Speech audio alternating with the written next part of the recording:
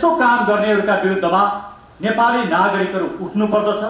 नेपाली नागरिकहरूले आउँदो निर्वाचनमा यो नागरिकता विधेयकको पक्षमा उभिने प्रत्येकलाई निर्वाचनमा हराउनु पर्दछ। राष्ट्रपतिज्यू पछि नहटोस्।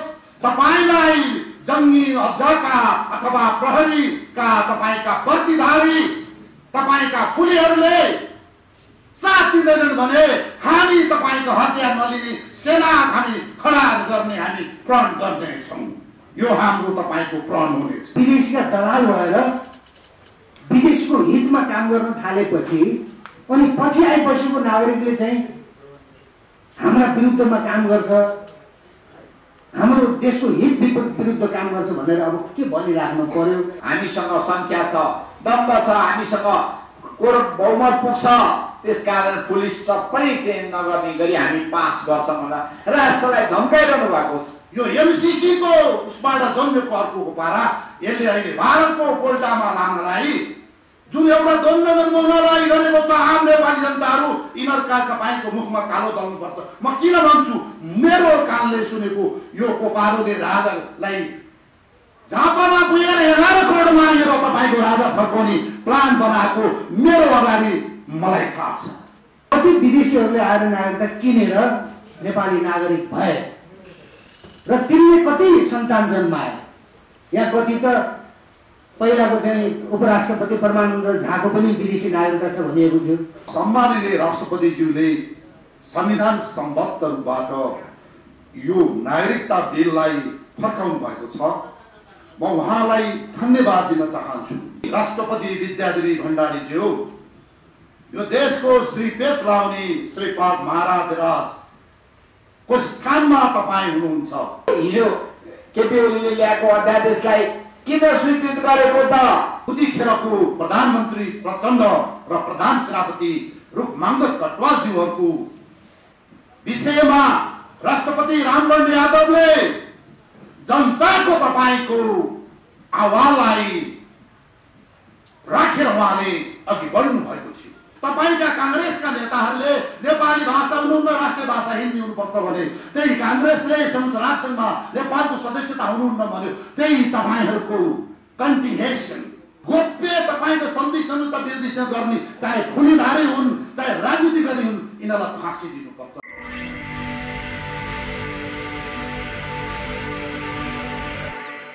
कार्यक्रमका सभापतिज्यू डबलीमा बसिरहनुभएका लब्ध प्रतिष्ठित व्यक्तिहरूमा मेरो नमन छ। पत्रकार युवा भाइ बहिनीहरू उपस्थित लेडिज एन्ड जेन्टलमेन अब आजको विषयमा प्रवेश गर्नुभन्दा अगाडि म सम्माननीय राष्ट्रपतिज्यूले संविधान सम्बद्ध रूपबाट यो नागरिकता बिललाई फर्काउनु भएको छ।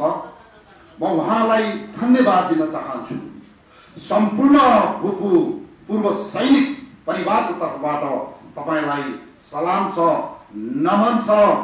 तपाईँ राष्ट्रपति विद्यादेवी भण्डारीज्यू यो देशको श्री पेश लाउने श्रीपाद महाराज राजको स्थानमा तपाईँ हुनुहुन्छ। तपाईँसँग कस्टमरी लहरू छन्। यो देशका राजाले प्रयोग गरेका लहरू छन्। कानुनहरू छन्। तपाईँका लिखित कानुनले संविधानले मात्रै तपाईँ मानिएको हुनुहुन्न। यो देश बचाउनको लागि जनताको आवाज सुन्नको लागि तपाईँ संविधानभन्दा माथि पनि रहनुहुन्छ। हाम्रो देशमा नजिर छ सम्माननीय राष्ट्रपतिज्यू। त्यो कति राम्रो थियो कति नराम्रो थियो। उतिखेरको प्रधानमन्त्री प्रचण्ड र प्रधान सेनापति रूपमाङ्गत कटवालज्यूहरूको विषयमा राष्ट्रपति रामवरण यादवले जनताको तपाईँको आवाजलाई राखेर उहाँले अघि बढ्नु भएको थियो। यसको विवाद र वादको पक्षमा हामी कुरा गर्दै गरौँला। मैले भने यो देश बचाउनु पर्छ राष्ट्रपतिज्यू पछि नहटोस्। तपाईँलाई जङ्गी अध्यक्षका अथवा प्रहरीका तपाईँका वर्दीधारी तपाईँका फुलीहरूले साथ दिँदैनन् भने हामी तपाईँको हत्या चलिने सेना हामी खडा गर्ने हामी प्रण गर्नेछौँ। यो हाम्रो तपाईँको प्रण हुनेछ। अर्को कुरा यो दुईटा कोपाराहरू अहिले एमसिसीले जन्माएका दुईटा कोपारा।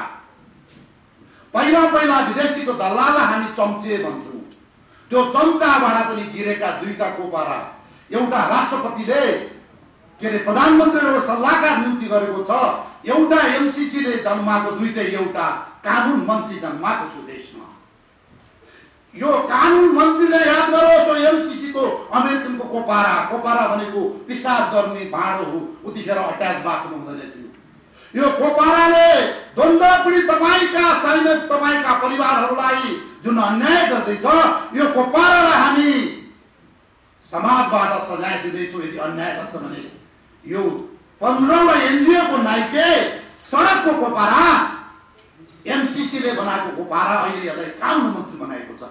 अर्को परराष्ट्र मन्त्रालयले एउटा सल के अरे प्रधानमन्त्रीको सल्लाहकार राखेको छ अर्को कोपारा।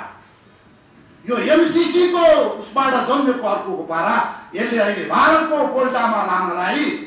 जुन एउटा द्वन्द जन्माउनलाई गरेको छ आम नेपाली जनताहरू यिनीहरूका तपाईँको मुखमा कालो दल्नुपर्छ म किन भन्छु मेरो कानले सुनेको यो कोपारोले राजालाई झापामा पुगेर एघार करोड मागेर तपाईँको राजा फर्काउने प्लान बनाएको मेरो अगाडि मलाई थाहा छ। नेपालबाट टेलिभिजनमा लुकी लुकी हिन्दी भाषामा यो कोपाराले भारतको पक्षमा तपाईँको भिडियो सुटिङ गरेर पठाएको मेरो आँखाले देखेको छु। मोदी र युपीको चुनावमा यो पैसा फुट्न गएको मेरो आँखाले देखेको छु। अनि सर्वोच्च अदालतले ठग भनेर प्रमाणित गरेको अहिले पत्रिकामा तपाईँको साक्षात देखेको छु। अहिले हुँदा हुँदा यो देशलाई असंलग्न राष्ट्र नीतिबाट थुटेर यसले तपाईँको कुनै एउटा शक्ति राष्ट्रको क्षमा। यी दुईटा कोपाराहरूलाई तपाईँहरूले आम जनताहरू यी दुईटा कोपारालाई सचेत गराउनुहोस्। होइन भने हामी पनि मुख अनुसारको मुला दिनेछौँ। अब मैले यो उसमा आएँ। नागरिकता विधेयकका कुरामा तपाईँका योभन्दा अगाडिका कानुन विधेयकले भन्नु भइसक्यो म एउटा राष्ट्रिय सुरक्षाको इस्युबाट म बोल्छु। यो देशका फुलीधारीहरू वर्दीधारीहरू राजा गए सबै गए तपाईँले निशान छोएर यो देशको माटोको लागि कसम खानुभएको कहाँ गयो? तपाईँको राष्ट्रिय सुरक्षाको चुनौतीमा भारतले मिचेको सिमाना यो नागरिकता विधेयक हरेक तपाईँको सरकारले यो भारतीयलाई नेपाली बनाउने कुरा हरेक पुलिससँग आएको छ आर्मीसँग आएको छ राष्ट्रिय सुरक्षा परिषदमा छ। तपाईँ भर्तीधारीहरू तपाईँहरू जिउँदै माटो खानुहुन्छ भने तपाईँ बिहारीलाई नागरिकता दिएर अहिले नेपाली बनाउने जुन एउटा ग्रान्ड डिजाइन बनाएर क्रिमिया बनाइँदैछ भने तपाईँहरू के को बर्दीधारी तपाईँहरू लाज हुनुपर्छ यहाँ साध्यबहादुर भण्डारी सुरेन्द्र भण्डारी अथवा तपाईँको हिरण्य लाल श्रेष्ठ आएर यहाँ तपाईँको छाती पिट्ने तपाईँको देश बचाउ भन्ने ठाउँ होइन। तपाईँहरू गएर यी विदेशी दलालहरूको प्रधानमन्त्री हुन् को हुन् यिनीहरूलाई कान समातेर डन्डा लगाएर राष्ट्रको लागि मर्न र मानवलाई तपाईँले सक्नु पर्थ्यो तपाईँहरू निरीह हुँदा। तपाईँहरू निरीह हुँदा दुई नम्बर प्रदेश बन्यो। कहाँ गयो त्यहाँको तपाईँको हात छाला मासु? त्यसै बनाएका थिए राजा महेन्द्रले हर्कबहादुरले हर्क तपाईँको डक्टर हर्क गुरुङ थिए त्यतिखेर तपाईँ चुप लाग्दाखेरि अहिले दुई नम्बर प्रदेश बन्यो। हुँदा हुँदा हुँदा मधेस प्रदेश भयो। हुँदा हुँदा मधेस टुक्राउँछु भन्दा तपाईँ फुलीधारीहरू तलब र गाडी तपाईँको सुविधामा लागेर तपाईँहरू केही बोल्नु भएन। यो देश बिस्तारै अब हाम्रा यी प्रदेशहरू हाम्रो बिराना हुँदैछन् अब भोट हालेर यो देशका नागरिकलाई तपाईँका बिराना बनाएर आउने बिहारी कवाडीहरू राजेन्द्र महतो जस्ताहरूले अब देशमा शासन गर्नेछन् प्रिय तराईवासी मधेसवासी पुराना दाजुभाइ दिदीबहिनीहरू यो तपाईँको लागि घात हो। विमलेन्द्र निधिजी तपाईँ के हेर्नुहुन्छ? तपाईँ महेन्द्रनाथ निधिको सच्चा पुत्र हुनुहुन्छ भने अगाडि आउनुहोस्। तपाईँहरूलाई लाज हुनुपर्छ। यो देशमा एक चुक्क बोल्नुहुन्न तपाईँहरू। अर्को कुरा मैले यो देशका आइजिपी र सेनाका जज साहबहरूलाई डाक्टर सुरेन्द्र भण्डारी ध्रुवलाल श्रेष्ठ जस्ता बोलाएर पढाइदिनुहोस् यो तपाईँका बिहारीहरू आएर नागरिकताले के हुन्छ भन्ने कुरा किन यिनीहरूको कान खोल्दैन किन आँखा खोल्दैन किन म भुक्नु तपाईँको प्रेमसिंह बस्ने छाती पिटेर हिँड्नु परेको छ देशमा हामीलाई भनिसक्यो अनिलजीले हामीलाई अथवा हामीलाई देश चाहिएको छ। हाम्रो देशको माया छ। अनि म भन्छु प्रचण्डजी आम माओवादी पूर्व मित्रहरू पूर्व माओवादीहरू यो नखीपोटमा बस्ने प्रचण्ड बाहेक तपाईँ माओवादीहरूले देश बचाउनुहोस्। यो प्रचण्ड प्रचण्ड रहेन नि। यो भारतीय गोटी पश्चिमाका गोटी अहिले त एमसिसीका गोटी भए नि। यो के अरे यो हाम्रा उनो के अरे राखी बाँधेर चौथाइको ज्वाइँसाथ देउबाजी चौथाइको धर्म बहिनीजी तपाईँलाई नि अब पारी नै माया छ।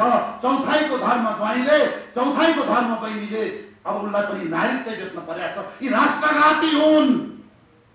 यिनीहरू बाहेकका नेपाली काङ्ग्रेस यो देश बचाउनुहोस् तर तपाईँहरूको जन्ममै कोही गएर परिवारले यो देशलाई नेपाल मानेन तपाईँको काङ्ग्रेसको जन्मबाट माग्यो तपाईँका काङ्ग्रेसका नेताहरूले नेपाली भाषा हुनुहुन्न राष्ट्रिय भाषा हिन्दी हुनुपर्छ भने त्यही काङ्ग्रेसले संयुक्त राष्ट्रमा नेपालको सदस्यता हुनुहुन्न भन्यो। त्यही तपाईँहरूको कन्टिनेसन कोशी नदीलाई बेचेकोदेखि अहिले तपाईँ अहिले अरुण बेचेर नागरिकता बेचिरहेको छ यो काङ्ग्रेसको धर्म हो।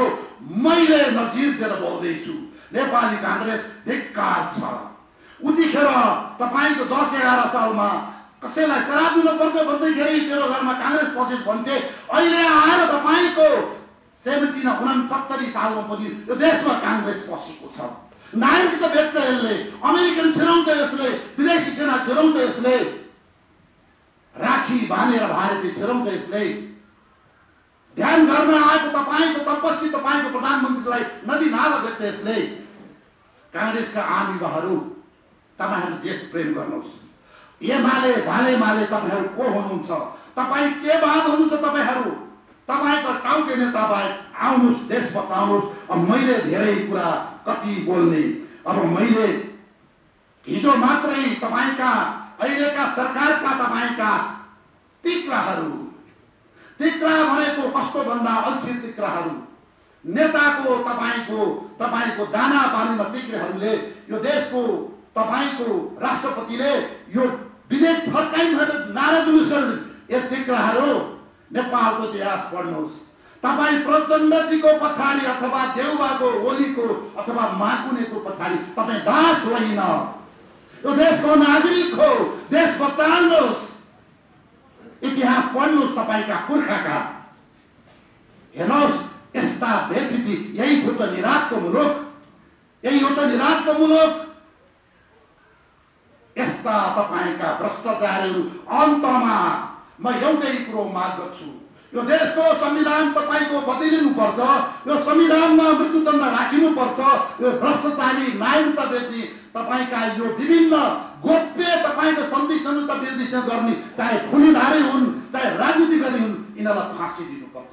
संविधान तपाईँको संशोधन गरेर भन्दैछु। हेर्नुहोस् यस्ता राष्ट्रघातीहरूले यो देश भरियो यो देश भरियो आम तपाईँका नेपालीहरू यो अहिले नागरिकता विधेयक यसलाई तुहाउनु पर्छ यो सरकारलाई हामीले च्यालेन्ज दिनुपर्छ। यो दुई चार टाउकाहरूलाई पढ्यो भनेदेखि मैले भने भविष्यमा हेर्नुहोस् भकुण्ड खेल्न सकिनेछ। यिनीहरूले याद गरून्। चौथाइका तपाईँका निज ज्वाइँ तपाईँका बहिनी ज्वाइँ प्रचण्डजी तपाईँ सत्तरी पचहत्तरजनाको घेरामा बसेर खुद सुरक्षित हुनुहुन्छ भने थाहा होला। अर्को KP Oli I am the state अर्को माकुनेजी तपाईँ जहिले पनि भारतीय ठुलो देख्नुहुन्छ। याद गर्नुहोस् अन्तिम चान्स छ तपाईँहरूलाई। जनता उर्लिनेछन् हामीले उडाल्नेछौँ हामी हतियार बोक्दैनौँ तर अरू सबै कुरा बोक्नेछौँ यो देश बचाउनको लागि यो मञ्चमा आसिन तपाईँहरू कुन कुन पार्टी हुनुहुन्छ म सम्मान गर्छु। ती नेता बाहेकका माओवादी नेता बाहेकका काङ्ग्रेस नेता बाहेकका एमाले सम्पूर्ण दलका साथीहरू देश बचाउनु। यो देश हाम्रो हो। यो देशमा अमेरिकन दौडिनुहुन्न यो देशमा भारतीय दौडिनुहुन्न यो देशमा चिनिया दौडुन्न यो शान्ति क्षेत्र रहनुपर्छ। यति भन्दै फेरि पनि मैले राष्ट्रपतिज्यूलाई सलाम र सम्मान गरे तपाईँलाई धन्यवाद छ आयोजकलाई धन्यवाद छ। जय नेपाल। हाम्रो छिमेकी राष्ट्रहरूकै हिसाब हेर्नु भने भारतमा सात वर्ष छ। भुटानमा पन्ध्र वर्षभन्दा बढी लाग्छ। भारतमा स्वयं सोनिया गान्धीजी कति वर्षपछि उहाँले नागरिकता पाउनुभयो भन्दा चौध वर्ष जति पछि मात्रै उनले उहाँले भारतीय नागरिकता प्राप्त गरेको देखिन्छ रेकर्ड हेर्दाखेरि। हामीले जतिखेर यो विधेयक आयो सुरुको विधेयक प्रस्तुत हुने बित्तिकै मैले पनि संशोधन हालेर हामीले संशोधन हालेर समितिमा व्यापक छलफल गऱ्यौँ। चौतिसवटा समितिमा दुई वर्ष लगाएर चौतिसवटा औपचारिक र अनौपचारिक थुप्रै बैठकहरू बसे। र समितिमा हामीले देश विदेशका सबै अन्तर्राष्ट्रिय व्यवस्थाहरूलाई पनि हेरेर कम्तीमा यदि विवाहित बुहारी आउँछिन् भने उनलाई सात वर्षको प्रबन्ध गर्नुपर्छ भनेर हामीले राख्यौँ। त्यो विचार गरिसकेपछि कि त हामीले समिति प्रणाली बाँध्दैनौँ भन्नु पर्यो होइन भने संसदको समितिले पारित गरेर गएको विचारलाई उहाँहरूले फिर्ता लिने प्रयास दुष्प्रयास गर्नुभयो। मैले लिखित रूपमा यो फिर्ता लिने कुरा बेठिक हुन्छ भन्दा मैले विरोधको सूचना पनि हालेँ आफ्नो कुरा पनि राखियो। तर जबरजस्त रूपमा गणितको हिसाबबाट कि यत्रो राष्ट्रियताका सन्दर्भमा पनि उहाँहरूले फेरि एकपटक कम्तीमा संसदमा पठाउँ नयाँ विधेयक उहाँहरूले जो ल्याउनु भयो कि मेरो अभ्यासमा म दस वर्ष जति म सांसद भएँ कि पाँचजना भन्दा बढीले हालेका संशोधन यदि हाल्छन् भने त्यो समितिमा जाने गरेको छ। तर यसमा चौतिसजना मान्य सदस्यले नब्बेभन्दा बढी दफाहरूमा चाहिँ संशोधन हालेको छ।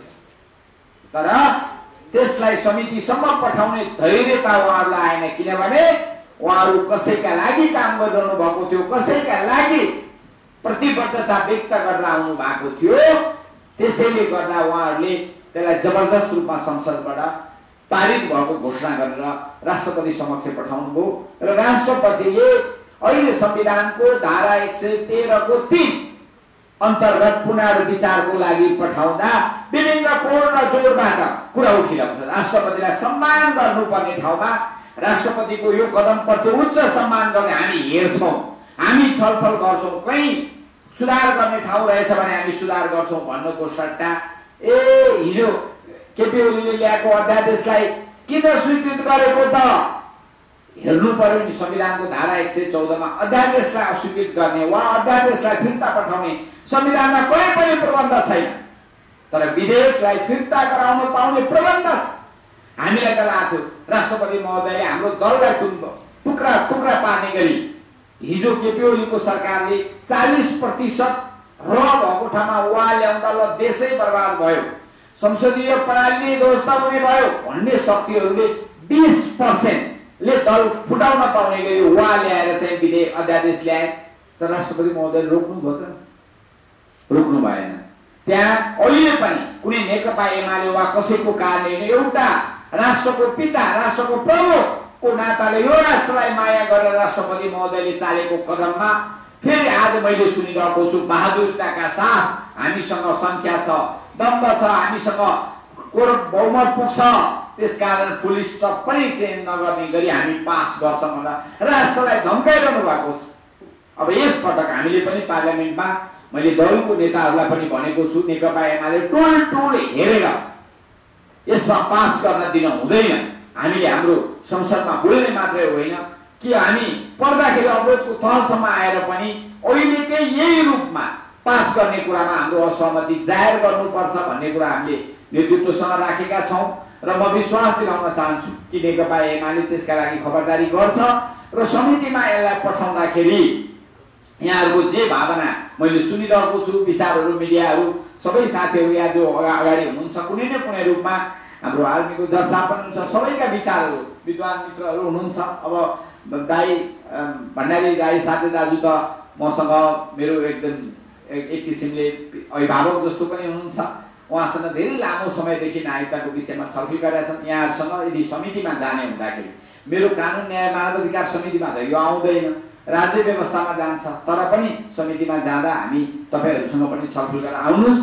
मेरो समितिमा जतिखेर पनि यहाँहरूलाई स्वागत छ यसलाई परिष्कृत गरौँ कि हेर्दा हेर्दै हेर्दा हेर्दै एउटा देशको विहित हुने देशको सदस्यता जस्तो कुरा आज आयो भोलि लिने पर्सि डिभोर्स गरे पनि नागरिकता रद्द हुन्न। यो कुरा बुझ्नुहोस् है। तिन दिनमा नागरिकता लियो। चौथो दिन डिभोर्स मुद्दा हाल्यो। पाँचौँ दिन डिभोर्स भयो भने पनि त्यो नागरिकता हातमै रहन्छ। अनि भोट हाल्ने बेलामा आएर कुनै पनि बेला क्रिमिया बनाउने। म त त्यो भन्छु। त्यो बनाउने संयन्त्रका लागि यसले मलजल पुग्छ। तसर्थ यो परिस्थितिमा यहाँहरू जो एउटा आन्दोलनरत हुनुहुन्छ सबै आन्दोलनरत हाम्रा अथक योद्धाहरूलाई सलाम गर्न चाहन्छु। र आफ्नो पार्टीमा आफ्नो तर्फबाट कति सकिन्छ म त्यसमा अनवरत रूपमा लडिरहने प्रतिबद्धता साथ म बिदा चाहन्छु। धन्यवाद नमस्कार।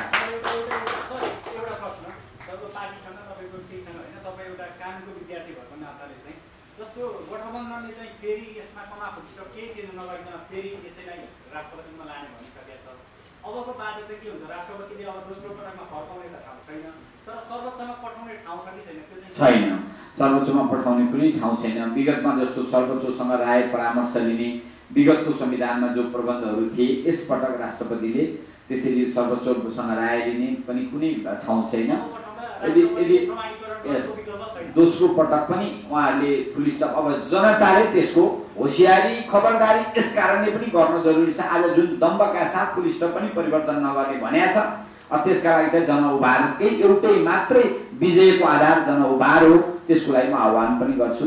धन्यवाद। राष्ट्रपतिले प्रमाणीकरण गर्नुको विकल्प छैन दोस्रो पटक पठाएपछि विकल्प छैन। हस् धन्यवाद युवा नेता तथा कानुन तथा न्याय समिति सभापति कृष्ण भक्त माननीय कृष्ण भक्त पोखरेलज्यू। र यसै गरी एकदम हामीसँग समय एकदम कम छ त्यसैले सबैले चाहिँ संक्षिप्तमा आफ्नो धारणा राखिदिन अनुरोध गर्दछु। फेरि पनि म आफ्नो धारणा राखिदिनु हुनको लागि अनिल योगी सरलाई अनुरोध गर्दछु।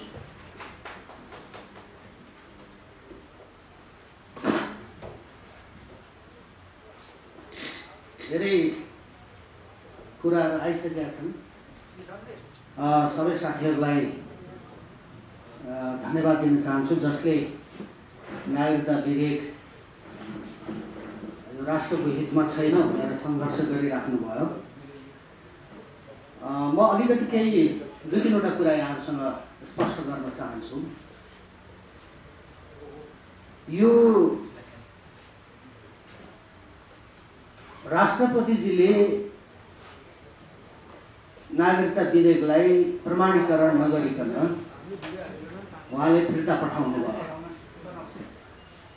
त्यो उहाँको संवैधानिक अधिकार भित्रको कुरा थियो। भन्ने छ। कानुनविदहरूले त्यो भनिराख्नु भएको छ। र अर्को पटक यसरी नै प्रमाणीकरणका लागि राष्ट्रपतिजी कहाँ पुग्यो भने अहिले प्रश्न गरे पत्रकार साथीहरूले अब उहाँले स्वत त्यो पास गर्नुपर्ने हुन्छ। भनेको यो व्यवस्था र यी शासकहरू कतिसम्म देशका विरुद्ध काम गर्न लालायत छन् भन्ने कुरा त्यसबाट पुष्टि हुन्छ।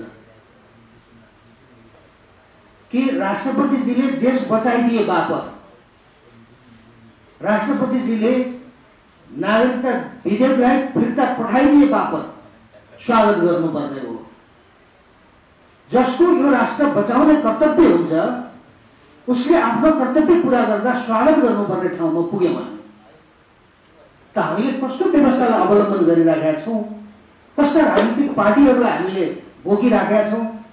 कस्ता राजनीतिक पार्टीहरूलाई नेपाली जनताले मत हालेर राज्यको ढुकुटीबाट पाल्नुपर्ने स्थिति निर्माण भएको छ। यो निकै गम्भीर विषय हो। म यहाँलाई स्मरण गराउन चाहन्छु। अघि मान्यजीले कुरा उठाउनुभयो सोनिया गान्धीको कुरा। सोनिया गान्धीलाई प्राइम मिनिस्टरको रूपमा कङ्ग्रेस अहिले प्रस्ताव गरेको थियो भारतमा। अहिलेको भारतीय प्रधानमन्त्री नरेन्द्र मोदीले यति जोडले चाहिँ विरोध गर्नुभयो र त्यो बिजेपीले विरोध गर्यो र भारतीय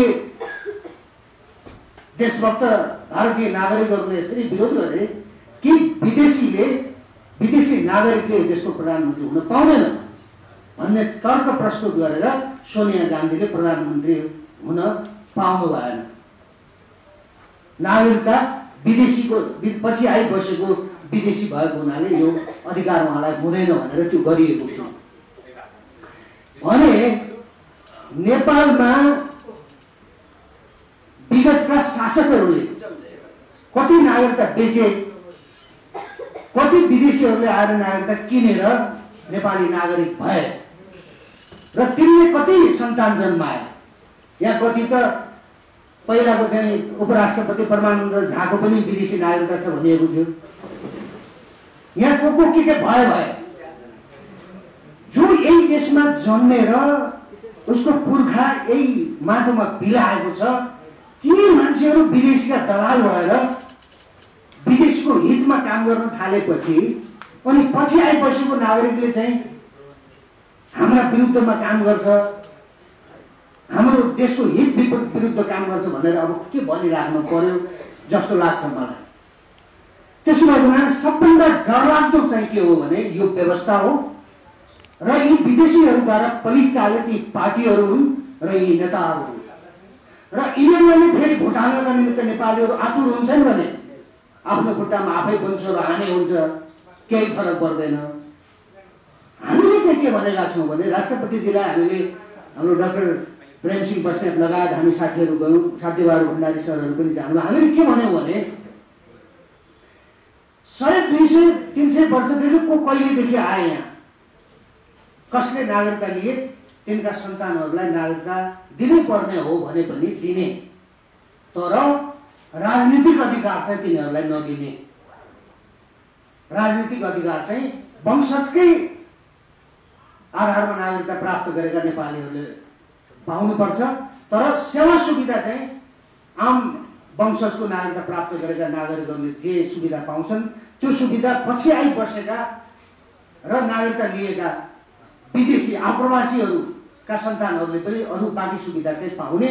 तर यो देशको सेनापति हुन यो देशको राष्ट्रपति हुन यो देशको प्रधानमन्त्री हुन यो देशको प्रधान न्यायाधीश हुन यो देशको चाहिँ प्रहरीको आइजिपी हुन उसले नपाउने त्यो कानुनी प्रावधान बनाउनुपर्छ भन्यौँ हामीले। के अन्याय गऱ्यौँ हामीले? के नचाहेको कुरा बोल्यौँ हामीले?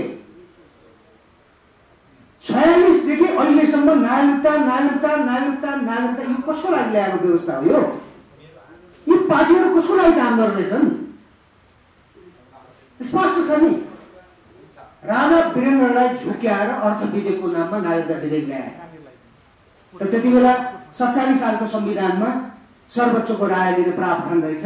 राजाले सर्वोच्चको राय लिनुभयो र त्यसपछि त्यो अर्थ नाममा झुक्याइ झुक्याउँदै ल्याएको नागरिकता चाहिँ त्यो त्यति बेला त्यो विधेयकको रूपमा प्रस्तुत र पास हुन पनि पाएन। त्यही विधेयक यो बाबुराम र प्रचण्डहरूले हाकेको युद्ध पश्चात स्मरण आओस् यहाँहरूलाई यो कुनै हावादारी कुरा होइन तथ्यका आधारमा भन्दैछु। जब यो बाह्रमुखे समझदारी गरेर यी पार्टीहरू जब आए त्यसपछि संविधान सभा डिक्लेयर हुन सकेन। किन? भन्दा प्र- प्रचण्डलाई दूतावासमा बोलाएर नागरिकता फेरि नागरिकता बाँड्ने प्रावधानमा उनले सिग्नेचर नगरेपछि उनले सहमति नगरेपछि संविधान सभा डिक्लेयर नहुने भयो। जब प्रचण्ड त्यहाँ गए त्यो काम गरे त्यसपछि संविधान सभा डिक्लेयर भएको छ। र चालिस लाखभन्दा बढी नेपालीलाई त्यसपछि नागरिकता बाँडिएको थियो बैसठी त्रिसठी पछि त त्यही त्रिसठी सालमा फेरि त्यही गिरिजा प्रसादले प्रस्तुत गरेको त्यत्रो युद्ध लडेर जनताको मुक्तिको बकवास गरेर आफ्ना देशका राष्ट्रिय सुरक्षा अङ्गहरूलाई तहस नहस गरेर अरबौँ अरब खरबौँ सम्पत्तिमा आगो सल्काएर देशद्रोह गर्नेहरूले फेरि चाहिँ एक ठाउँमा बसेर आएर अनि त्रिसठीमा फेरि त्यही नागरिकता विधेयक गिरिजा प्रसादले ल्याएको होइन। त कतिसम्म तपाईँहरूले चाहिँ यी देशद्रोहीहरूलाई चाहिँ देशद्रोह गर्न दिने? मलाई थाहा छैन यो आम संसार माध्यम यत्र विद्वान बुद्धिजीवीहरूलाई यहाँनिर राखेर मैले यो भाषा प्रयोग गर्न मिल्छ कि मिल्दैन मलाई थाहा छैन। तर हातका हातले यिनीहरूले त देशद्रोह गरिराखेका छन् नि। यिनीहरूले मातृभूमि बलात्कार गरिराखेका छन् नि। अघि हिरण्यजीले भन्नुभयो पुष्पकमल दाहाल दिल्ली गएर प्राइम मिनिस्टरको श्रीमती आरजु दिल्ली बसेर आएपछि नागरिकता विधेयक हठात पास गरेर राष्ट्रपति कहाँ प्रमाणीकरणको लागि शासकलाई देश बचाइदिएन प्रभु भनेर भन्नुपर्ने भएपछि यो कस्तो शासन व्यवस्था हो? यी कस्ता शासकहरू हुन्? यो विषयमा हामीहरूले समीक्षा गर्न जरुरी छ। हामीले के पनि भनिराखेका छौँ भने अहिले पनि थाप धम्कीहरू राष्ट्रपतिका विरुद्ध आइराखेका छन्। हामीलाई दुःख लाग्छ।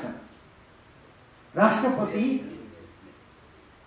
अब आम नेपालीहरूले मद्दत नगर्ने हो भने हामी आन्दोलित नहुने हो भने र यिनीहरू यो गर्ने भनेको चुनावलाई बहिष्कार गर्छौ तिमीहरू यो विधेयक पास गर्छौ भने तिमीहरू देशद्रोही रहेछौ तिमीहरू नभन्ने हो भने राष्ट्रपतिजीलाई धम्क्याएर हुन्छ कि?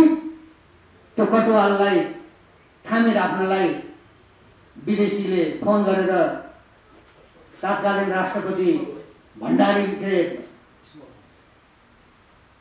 के रामभरण यादवले जसरी चाहिँ थाम्नु पर्यो र प्रचण्डले राजीनामा गर्नु पर्यो आखिर फेरि राष्ट्रपतिजीलाई कहीँ अन्तबाट फोन आएर उहाँलाई धम्क्याउने खतरा पनि छ।